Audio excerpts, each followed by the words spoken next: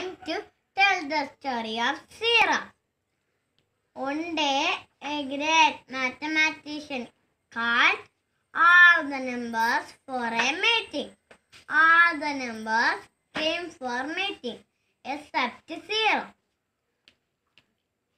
Then the mathematician asked, Where is zero? No one knew. Where is he?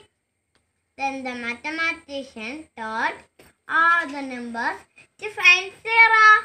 All the numbers started looking for zero.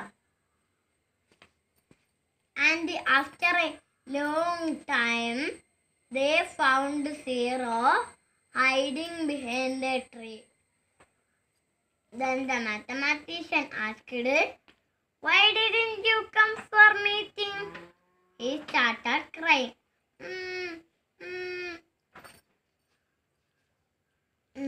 I didn't come because I have no value. No one was with me. No one plays with me. All the numbers have value. Then the mathematician thought for a while and smiled. Said to Zero, Don't cry. Even you have value. Number one and twelve. Number one, come and stand on left side of zero.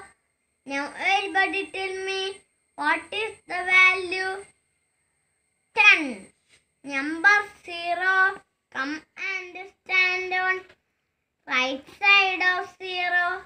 Now everybody tell me what is the value? Hundred. This story teaches us to respect others who are different from you. Respect and treat everyone fairly. And if you do, your value also increases. Thank you.